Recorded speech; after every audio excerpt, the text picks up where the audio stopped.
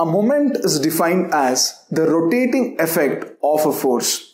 It is the product of force acting on the object multiplied by a perpendicular distance. For example, consider a beam where W is the load acting on the beam at a distance L from point A.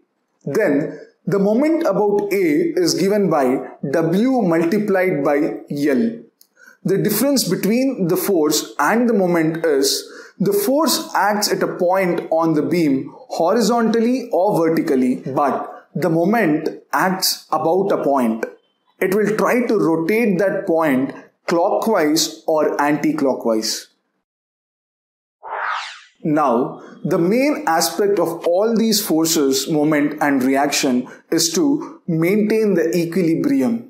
So, to know if the beam is in equilibrium at all conditions, we have set of governing equations called equations of equilibrium.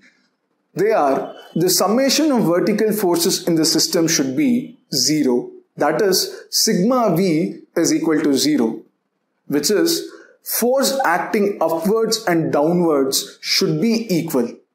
Secondly, the summation of horizontal forces in a system should be zero. That is, sigma h equals zero, which means forces acting to the right and forces acting to the left of an object should be equal. And finally, the summation of all the moments in the system should be equal to zero. That is, clockwise and anti-clockwise moments should be equal. Only when these three conditions are satisfied, the system will be in a equilibrium. So when we analyze a beam, we should always remember these equations of equilibrium. We will understand this better when we solve problems.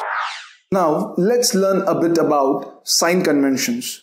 While solving problems, we follow certain sign conventions. For vertical forces, the forces which are traveling upwards are always negative and forces acting downwards are considered positive. In horizontal forces, the forces going to the right is taken as positive and the forces that are going to the left are taken as negative.